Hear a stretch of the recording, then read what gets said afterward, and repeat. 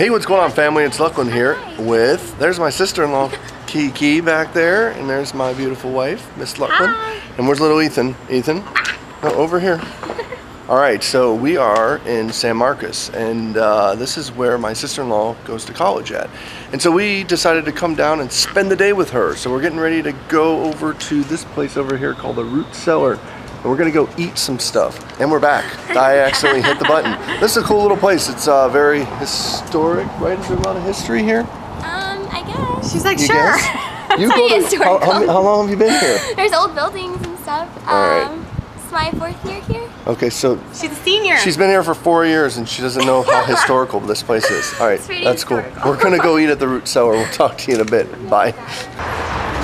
All right, so if you can see me here, I don't know if you can see me. The lighting's not good. There it is. Now you can see me. We just got done eating over at the Root Cellar Cafe. It was pretty darn good. Now, uh, looks like Miss Luclin and her sister are gonna do some shopping. And uh, yeah, we're getting ready to go eat some uh, homemade Ew, look at this. yogurt. So, see you guys in a bit. And then we're gonna go do some type of like Hi. boat ride or something. So that'll be kind of cool. Glass bottom boat ride. Say hi. say hi, crazy. Hi. They're all gonna say she's beautiful. Yeah, Watch and see. All right, so we are going to this Aquarena thing. Uh, it's a boat thing. It's over here. Look, over there. Check that out. So that's where we're gonna get on some boats. I guess they have glass bottoms on them, and uh, yeah, gonna take a tour of the river. So you guys will be seeing that in just a moment. All right, so I guess today we're gonna get a lesson on the uh, rivers here in uh, Texas.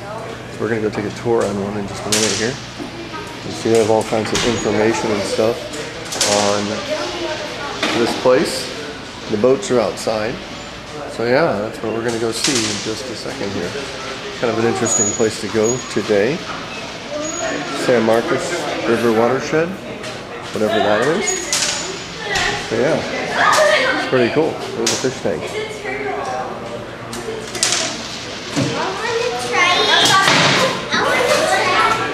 Fish up there. More fish. Look at all the fish. Hey, you're so cool. Your nose is cool. Okay. They tell you what they Hey. eat and everything. What? Oh! Look at this weird thing. What is this? What is this? It looks like a side of a Cave or something. wall. And they have a- just a window here. You know what? Maybe this isn't part of the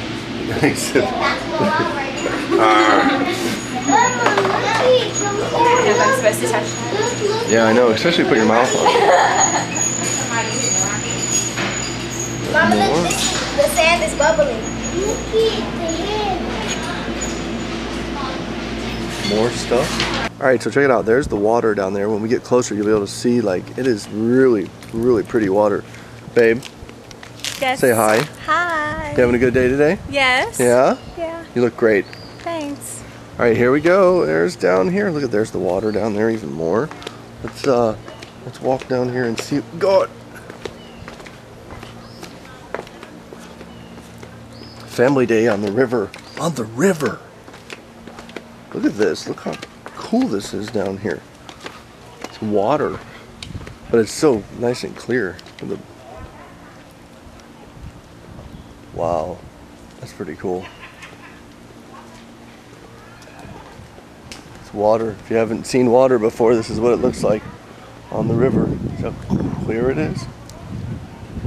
Wow, that's pretty sweet. Sweet. See you on the boat. All right, so it seems like uh, we're gonna be waiting here for about 20 minutes until the boat gets back. Uh, it's like a 30 minute boat ride. So we're gonna see a lot of cool stuff underwater. It's a glass bottom boat, so you're gonna be able to see down into the water and he's gonna give us a tour and all that good stuff. It's gonna be pretty cool. So looking forward to this. Talk to you guys in a minute. Bye. lake that was dammed in 1849. However, every drop of water that we're floating on right now is natural artesian spring water. This water is all coming from the Edwards Aquifer, so if you live anywhere between Austin and San Antonio, you are greatly affected by the Edwards Aquifer, whether it's water restrictions, where you actually get your water, or you, say, have the river, uh, the San Marcos River, which is again fed by the springs. The first spring I want to show y'all is actually one of our high pressure springs. In just a second. Now, Our spring's about 17 feet deep. And you'll notice right here the plants are starting to move around. There's actually this high pressure spring produces around 100 to 200 gallons of water a minute. And you'll see there's this large strip of white sand. This white sand is limestone sand being eroded out of the Edwards Aquifer and pushed uphill from the water flow. You'll actually never see any plants growing in this strip of sand for two reasons. One, it's limestone sand, it's not very good at growing anything.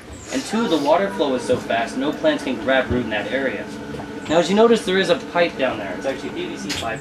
This is here solely for um, research. This has a whole bunch of sensors in it. It goes over the water quality like pH level, calcium level, oxygen level, conductivity, turbidity, all that awesome stuff. And the reason we test the water here in Spring Lake is, again, this is the natural exit point of the Edwards Aquifer. It's a lot easier to test the water quality here for human consumption than it is to dig a well out in the hill country someplace that can be miles deep. Another big thing, though, is Spring Lake is considered a critical habitat. There are several endangered species here, all of which are greatly affected by the water. Most of them are fully aquatic. Now, the Edwards Aquifer actually supplies water to 10 different endangered aquatic species. Eight species here in Spring Lake are endangered or uh, threatened. Some of them only live here, for example, the San Marcos dwarf salamander or San Marcos campina. Uh, so it's very neat. As you see down below us, we do have a massive abundance of aquatic plants. We actually have close to 140 different species of plants here uh, Spring Lake. Not all of those are native, some are even invasive, which is kind of a bummer. But they all kind of have their own purpose. This stuff right down below is it kind of looks like banana peels. This is known as arrow's head. This is actually one of the main feeding sources for our turtles. How deep does it get? Right here, it's around 8 feet deep. Eight feet? So there's a very cool fish I want to show you. It's over here on the left side. Let me get up as close to this boat as I can. Over there, fish hook. Yes, so right here you can see a really long skinny fish, kind of a light brown greenish color, digging in those plants. This is known as a spotted gar. The spotted gar is literally, as a species, it's older than most dinosaurs. As a Oh, wow, record, there it's it close to right there. 250 million years old. Now this long skinny fish is armor plated. They have scales kind of like your fingernails. They're very tough. And although you can't see its mouth, it has a very long, narrow snout with two to three rows of razor sharp teeth. Oh wow. These are natural born predators. However, they're ambush predators. They just kind of chill out in the plants, waiting for something to get a little too close, and then they eat it. Because of this, they're not aggressive. They're actually very, very docile fish. And even though they look like dinosaurs, and they sometimes act like it, they're very docile. I've actually swam with them in the San Marcos River. They just don't care. Most because they don't have any predators either. Cool.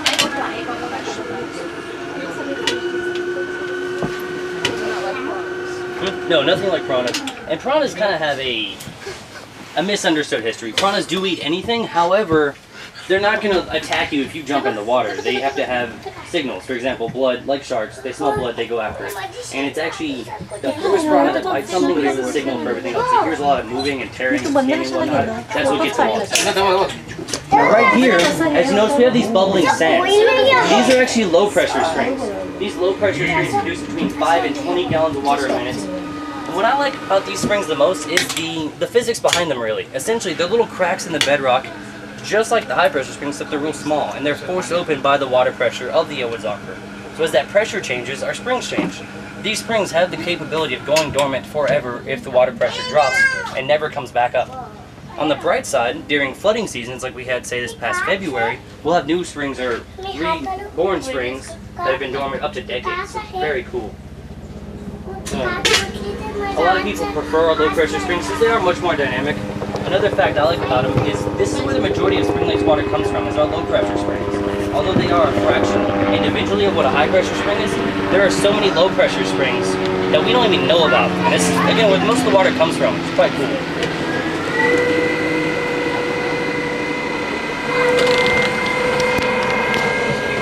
What's the average water temperature? The average water temperature is actually completely consistent of 72 degrees. Now that's a cool thing. If you go to say Barton Springs, Comal Springs, San Pedro Springs, all of them fed by the Edwards Aquifer, there's a whole bunch of turtles down below us. Kind of in the plants. Unfortunately, the turtles don't. Oh, there we go. Oh, there we go. There's a there's one. Yeah, that was a red ear slider, one of our five. Here's a big old Guadalupe bass right here. too. Oh, wow. Um, oh, there's another one. So Oh, the that's bass are quite active bass. right here. That bass is about two foot long, probably I don't know, eight to ten pounds. Looking into the deep Oh, that's a nice bass. And that's actually a massive benefit to swimming, fishing, kayaking, snorkeling, all that fun Oh, stuff being this illegal down here. here. The fish just get massive. Now, right here, as you notice, we have another high pressure spring, but it's a lot deeper, and that strip of white sand is quite a bit larger. This spring is 22 feet deep, and the water flow is, on average, around 300 gallons of water. It's much faster. However, this spring has a pretty cool story to it, and it has to do with this area's history. If any of y'all have been here before, you may call this area being called Aquarena Springs the Amusement Park. This was actually started in the late 40s, early 50s, and this we had our glass bottom boats, we had amusement park rides, restaurants, all kinds of awesome stuff. And a man named Johnny Weissmuller came through here. Now Weissmuller played Tarzan, back in the 30s. He was also a gold medal Olympic swimmer. Now Weissmuller got this spring named after him because one day he came by, got on one of our glass bottom boats, and being the kind of guy he was, he decided to jump off the boat, dive down to the bottom of that spring, and drink some of the water flowing from it. Now the normal water quality flowing from our springs is on average three to five to five times cleaner than tap water. So at the source, it really is clean enough to drink. The problem was the water pressure. 300 gallons of water a minute is a lot of water. That's like trying to drink out of a fire hydrant. Unfortunately, Weissmuller also underestimated the water flow a little bit, and he almost drowned apparently. Oh boy. Now, he did manage to make it up all by himself, and from what I was told, this wasn't during his acting career. This was actually around 1968, so he was in his mid-50s to early 60s. Wow. Very cool. I'm from Ocala, Florida. In Ocala, Florida, we actually have Silver Springs there, and Yes. that's where he used to shoot all of the uh, Tarzan movies. Yes. Um, didn't y'all also have a, a submarine theater and everything in Silver Springs? Yep, that was a long, long time ago. But the glass bottom boats were there, and that's yeah. Uh, I've actually told by some of our previous employees that we stole the idea of a submarine theater from them. Really? But then we modified it, That's- adding Ralph the Swimming Pig and everything. um, now, one thing I want to point out, if y'all are really into turtles, this old fallen tree right here, just covered in them. Uh, these yeah, turtles are mostly there. Texas river cooters. We also have, again, red ear sliders. Uh, when we come back around, everyone on the left side will be able to see it better. Now, all these turtles are out here because they're cold-blooded. They're trying to get warm due to the sunlight. However, another benefit to these turtles sunbathing is just like people, they absorb vitamin D from sunlight. Vitamin D helps you absorb calcium and therefore makes your bones and fingernails hard. So if it wasn't for the turtles sunbathing, they would eventually become soft. Interesting. Over by, over back by that spring, was there like little holes in there? Because I saw like over I went down like, the. Uh, sometimes it happens. It just depends on how much water is flowing from it. You can see the hole or not. Look how far down that goes, Dad. Yeah. Oh, let's see this over here. Alrighty, so right here you'll start seeing more low pressure springs. This area is actually our highest collection of low pressure springs in all of Spring Lake. And due to its appearance, it's called cream of wheat springs. It looks like a big bowl of cream of wheat boiling. Cream of wheat. Now there can be over 5,000 springs in this area, depending on the water flow again. But one of my favorite things, you notice there's little fish just hovering over the springs here. They're staring down at them just like y'all are. They're doing it for a completely different reason though. These fish have learned that the Edwards Aquifer not only supplies all the water, but has its own ecosystem. The ecosystem can consist of around 40 different organisms, including the endangered Texas pond salamander. Now that salamander, although he's only about 4 inches long, doesn't have eyes, and doesn't move a whole lot, he is a top predator of the aquifer. And all of his prey, if they don't get eaten by him, they get pushed out of these springs, and that's what the fish are waiting for. They're waiting for a free meal. You could even say they're fishing in a way if you want to make it sound really ironic. Uh, very cool.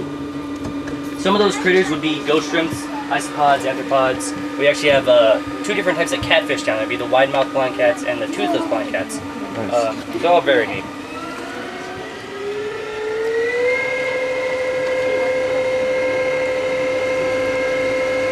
How deep can this place get? The, lake average in depth is around 10 to 12 feet deep. Uh, that last spring was actually around 15 to 17. The deepest part is 28 feet, and I will be taking you to that part later.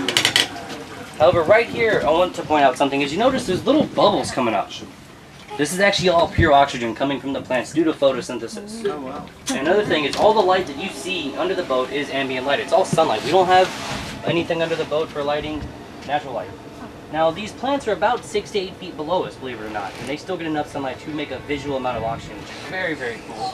Only possible because our water is so clear. But as you notice, there's a lot more plants than fish around here. So most of this oxygen that's being produced just rises up to the surface, pops, and we get to breathe it. How about y'all, but I'm from Houston originally, where oxygen's a little bit rare. so I think this is just wonderful. Uh, Another kind of neat thing about this part of Spring Lake, if you look way up behind us, you'll see a little green wall beside all those other boats. That is the headwaters of Spring Lake, the farthest point upstream, not only in the lake, but the entire San Marcos River system. There's no farther point upstream. If you look out in front of us, you'll actually see a little yellow building way out there. That building today is a sawgrass. Originally it was a grist mill. Was the sole purpose of Green Lake being created and is the end of the lake. This is it. The only thing that you can't see is our wetlands, which wraps around the peninsula here. It's around 21 acres of lake. It's very, very small, but that's actually a benefit. If you say go to Lake Travis, you're not going to see plants like this. You're not going to see little fish, little bugs, all that cool stuff. Uh, and although it is a man-made lake, just like Lake Travis, in my opinion, it is significantly better. Um, however, This, this lake has no swimming in it, no nothing, right? nothing at all. There is a special way you can swim in Spring Lake. It's actually called the Dive for Science program. If you're already certified to scuba dive, you can take a special class with us. The price can vary between 150 to 300 dollars. It just depends on, you know, the whole season and everything. Yeah. You take the class, you learn how to dive in Spring Lake without harming the endangered species, properly removing the invasive, don't get hit by a boat or anything, and then you can dive here for free if you do volunteer work course. That's cool. So it's a very cool deal. That is a cool. Uh. However, right now it is on pause due to the reconstruction. Oh, there's a deer up on the hillside. Where? Yeah, there's deer right up on the hillside.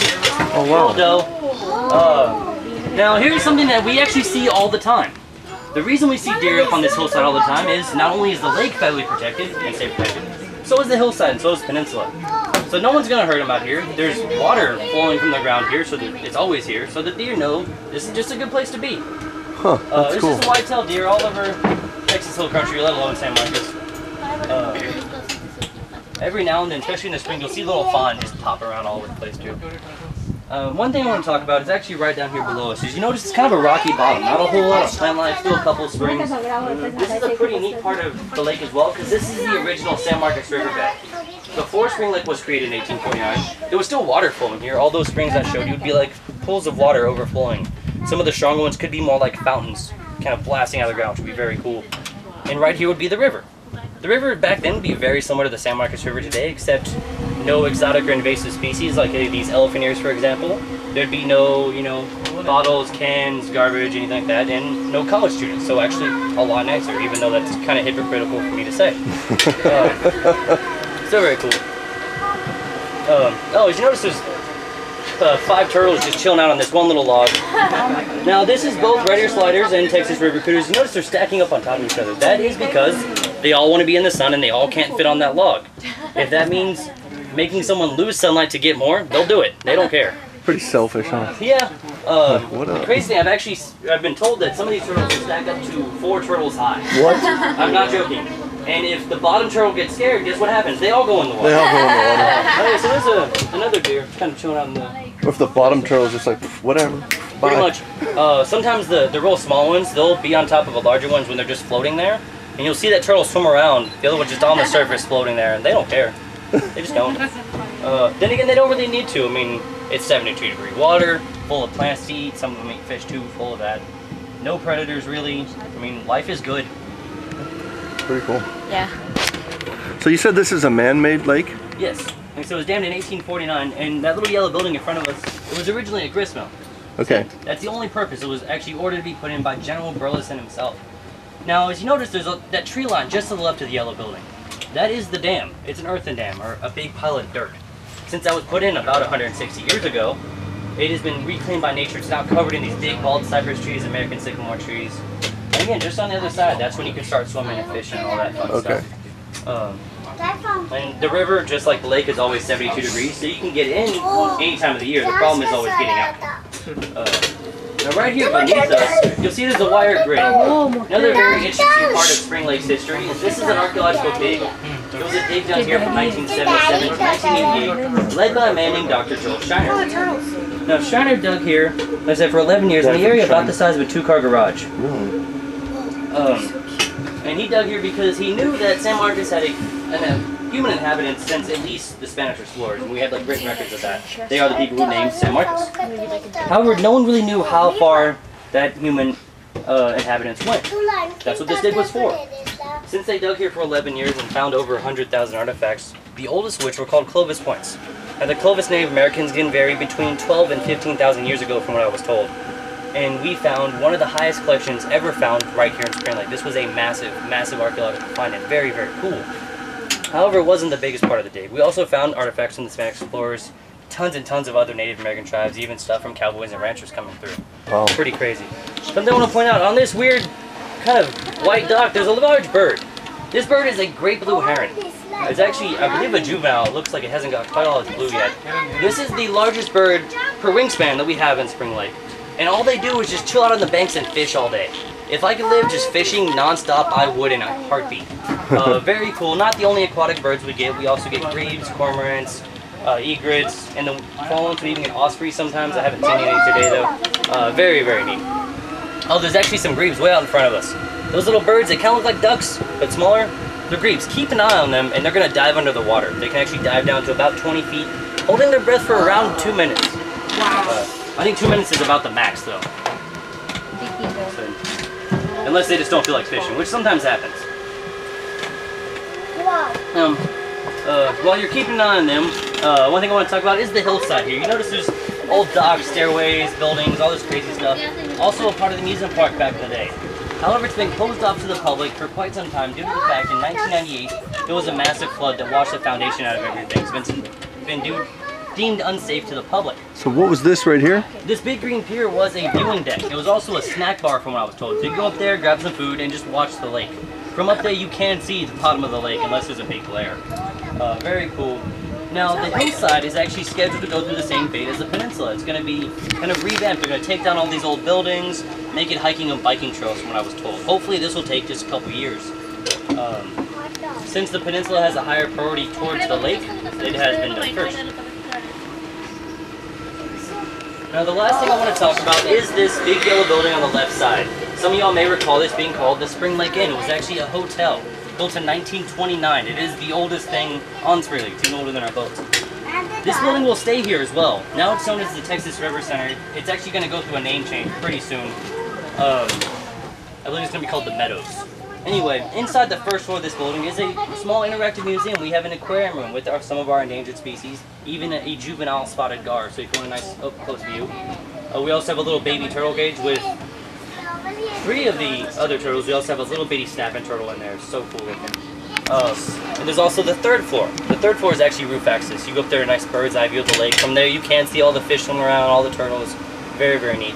The only thing that's closed off to the public is the second floor because that's office spaces. And there is the, the Texas Parks and Wildlife, other organizations that really help save Spring Lake. They're usually also the guys to call the cops if you get caught fishing out here. So again, just don't try it. There's always someone here. Uh, still very, very neat. Can I get some docking assistance, please?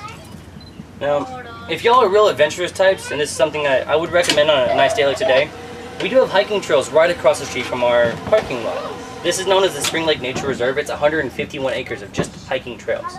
There's actually its own an endangered bird known as the golden cheek warbler out there. Very, very hard to see, but it's there. Um, and San Marcos actually has 19, including this one, green areas, and they're all very cool. If you want to see what those are, we have a map where you bought the tickets. Uh, so you can go check that out. It tells you the green areas. It tells you other points of interest. It even tells you a good place to grab a bite to eat if you're interested. Let's say, in just this minute, we're going to start docking. I do have to ask everyone to stay seated while we're docking. However, if we have any last minute questions, I will gladly answer them now. Cool. Thank you very much. Use those boats. The reason we didn't use those boats is we didn't have a full boat. We don't need it. We do use them every now and then. Uh, I just prefer this one, so I drove this one. Uh, so they are exactly the same in dimension and what you see. Uh, the only real difference is this one's a little bit older. Uh, so like I said, I'll take my friend Marcus here just a minute to, to tie up the boat. Were there any last minute questions? Got anything?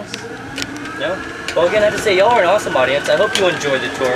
Like I said, get a good feel to, to look around. If you come up with some questions later, just find someone with the blue shirt like mine. We're all over the place.